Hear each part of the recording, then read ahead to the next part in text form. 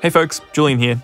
In this video, I'm going to show you how to use the NT1 5th generation in ultra high resolution mode. In addition to its XLR output, the NT1 5th generation also features a digital USB output. And inside the microphone is a professional grade audio interface that converts the analog signal produced by the mic capsule into a digital signal that can be sent to your computer via USB. This process is simply known as analog to digital conversion, and it's one of the main functions of a standalone audio interface, such as the Rode AI1, for example.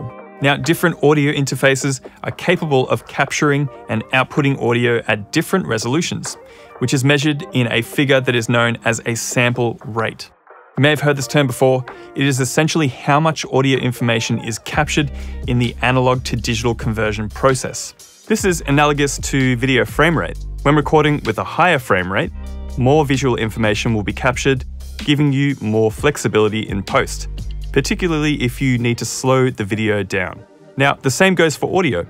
When recording with a higher sample rate, you will be capturing more audio information, which can be useful in some specific scenarios, such as if you need to heavily manipulate the pitch or the speed of the audio.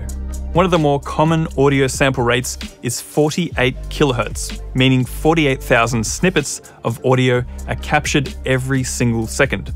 Now, the NT1 5th generation, however, is capable of outputting an incredibly high resolution digital signal, all the way up to 192 kilohertz, meaning 192,000 samples per second.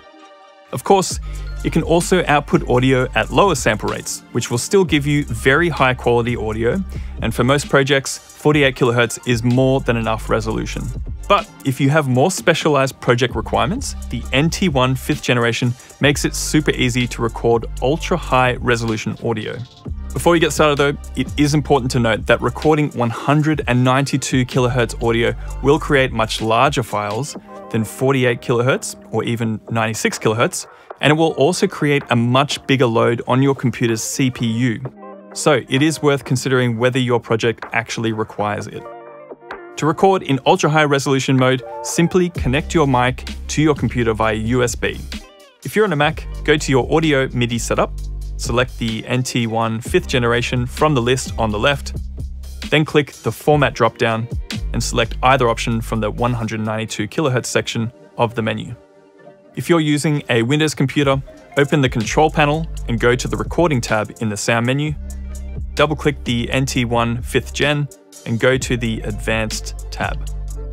Here you can select 192 kHz as an option from the default format drop-down menu. If you want to record on a Windows PC at 192 kHz in 32-bit float, you will need to use our custom ASIO driver. So be sure to check out our other video on 32-bit float recording via the link in the description for the full process.